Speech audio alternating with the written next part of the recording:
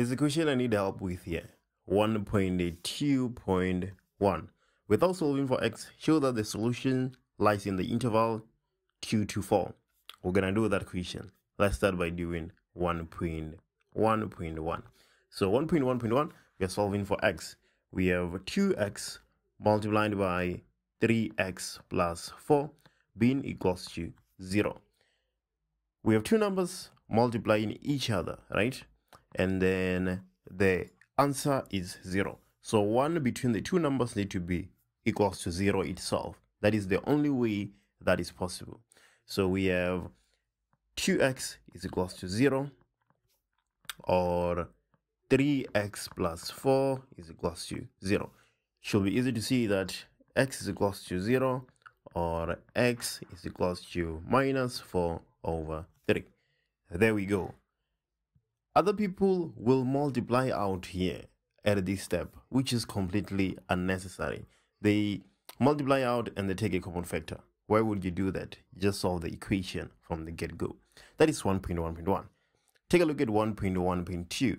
We're supposed to solve 2x squared minus 4x is equals to minus 1, correct to two decimal places. We know that we are supposed to use the quadratic formula as soon as we see correct to two decimal places.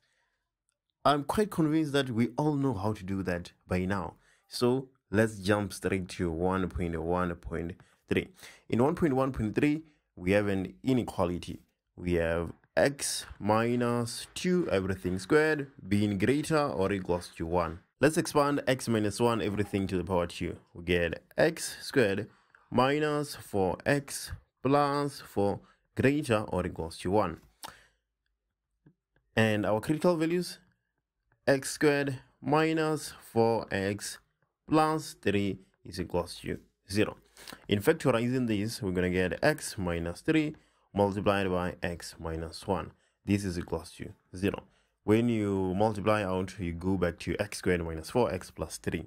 So x is equals to 3 or x is equals to 1. Those are our critical values. As soon as we get to this point, we have two possible sets of solutions. Let me show you what I'm talking about. It's either x, this is the first possible solution. It's either x lies between 1 or we have or equals to, right? It's either x lies between 1 and 3 right or x is less than 1 or x is greater than 3 one between these is the correct answer we just need to perform a test and see which one it is but let's take a look at this here we're seeing that x lies between 1 and 3 which whole number lies between 1 and 3 2 lies between 1 and 3 so let's substitute 2 in our equation and see if our equation is going to be satisfied. If our equation is satisfied, then we're going to know that that first option is our answer. Okay, let's take a look. We're going to have 2 minus 2 squared being greater or equal to 1. Obviously, this is 0. Is 0 greater or equal to 1? No, it is not. So that first option is not correct. Without even testing the second option, we already know that it is the correct answer. But let's just go ahead and test it out uh, for the sake of clarity.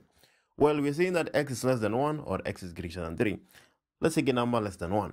A number less than 1 is 0. So take a look at this. We're going to have 0 minus 2 squared being greater or equals to 1. Obviously, 4 is greater or equals to 1. Our equation is satisfied, our inequality, I mean. And then now let's take a number greater than 3. Let's take 4. If we take 4, we get 4 minus 2 squared being greater or equals to 1.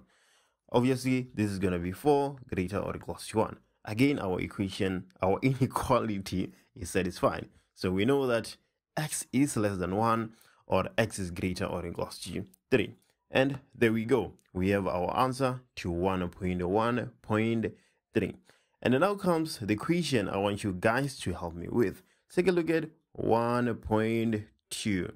1.2 says we're given an equation square root of x minus 2 is equals to 4 minus x. And the question is saying, without solving for x, show that the solution lies in the interval 2 to 4. Right, without solving the equation. Let's show that. Okay, so let's take a look at this interval 2 to 4. Well, the whole numbers we have is 2, 3, and 4. So let's test these three whole numbers 2, 3, and 4 and see if that equation is satisfied. Starting with 4. Uh, well, let's start with 2. x is equals to 2. When we have x being equals to 2, we're going to have square root of 0. So, uh, well, square root of 2 minus 2. So, square root of 0, that gives us 0. So, we have 0 being equals to 4. We know this not to be correct, right? And now let's test x is equals to 3. Right, yes, x is equals to 3. Let's see. So, we're going to have 3 minus 1, which is 1. Square root of 1 is 1. And then this is equals to 4 minus 3, which is 1. Hmm, x is equal to 3, it's okay, it works. Now let's take a look at x is equals to 4. Right, so x is equals to 4. When x is equals to 4, we're going to have 4 minus 2, which is 2 square root of 2 is square root of 2. And then on the other side, we're going to have 4 minus 4, which is 0. And we know that these two are not correct. So, um, how are we then supposed to show that the solution lies in that interval? I'm thinking that in the setting of the equation, uh, this or equals to is a mistake. It is not supposed to be there because if it is not there and we just substitute 3, you know, the two sides will be equal to each other. But then for the mere fact that you are including 2 and 4 and clearly the answers don't make sense, I don't know what is going on here. So those are the two options. Is a typing error or I'm making a very serious mistake. There's something I can't see, which I doubt is the case. Let me know in the comments. How do you do 1.2.1? I'm interested in. I'm interested in your answer. Right. So that is 1.2.1. What about 1.2.2? Can we actually solve the equation? I think we can. Um, square root of x minus 2 being equals to 4 minus x. Let's go with both sides. We're going to get x minus 2 being equals to 4 squared is 16. And then minus x multiplied by 4 is minus 4x. You multiply the 2. Uh, you multiply that by 2, you get minus 8x plus x squared. Okay, so let's take a look. We're going to have x squared minus 9x plus 18 being equals to being equals to what? Being equals to 0. Right, so let me just make sure that I'm not making a mistake. Uh, 4 squared is 16 minus 8x, x squared. That's fine. And then x squared, this, when it goes to the other side, it becomes minus. So we have minus 8x, and then this becomes positive. So we have plus 18. Okay, it seems like I've solved that um, I've solved that. I have not made any mistake. So let's carry on. Um, we need to factorize. Okay, so let's take a look. We have x, x, and this is equal to 0. 2 factors of 18, when we get, we get minus, when we add, we get minus 9.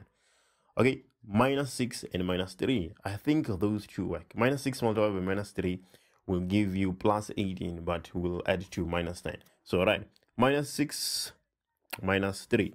So x is equals to 6 or x is equals to 3.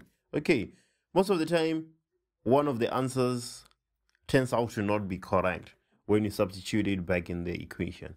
So let's see, let's substitute x is equals to 6.